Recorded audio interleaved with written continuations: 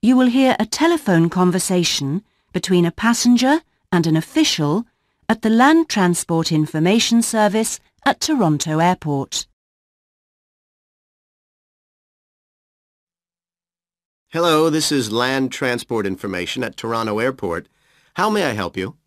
Oh, good morning. Um, I'm flying to Toronto Airport next week and I need to get to a town called, um, Milton. Could you tell me how I can get there? Milton, did you say? Let me see.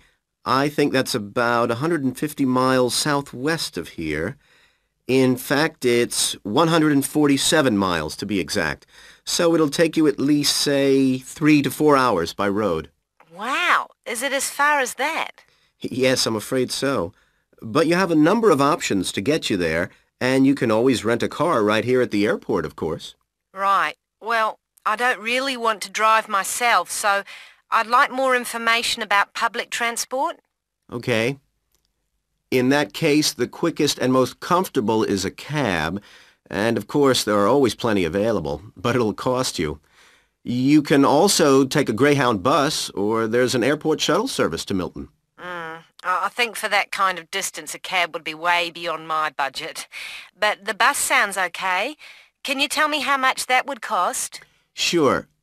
Let's see, that would be $15 one way, or $27.50 return. Uh, that's on the Greyhound. Ah, that's quite cheap. Great. Uh, whereabouts does it stop in Milton? It goes directly from the airport here to the city center, and it's pretty fast. But you have to bear in mind that there is only one departure a day, so it depends what time your flight gets in. Ah, of course. Hang on. Oh, we're due to get there at 11.30 a.m. Hmm, too bad.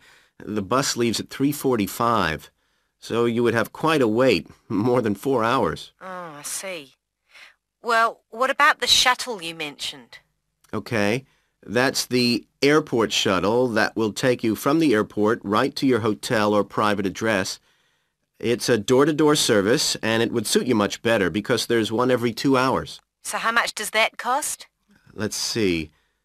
Uh, yeah, that's $35 one way, $65 return. So I guess it's a bit more expensive than the Greyhound. Oh, that doesn't sound too bad, especially if it'll take me straight to the hotel. But you do need to reserve a seat. Okay.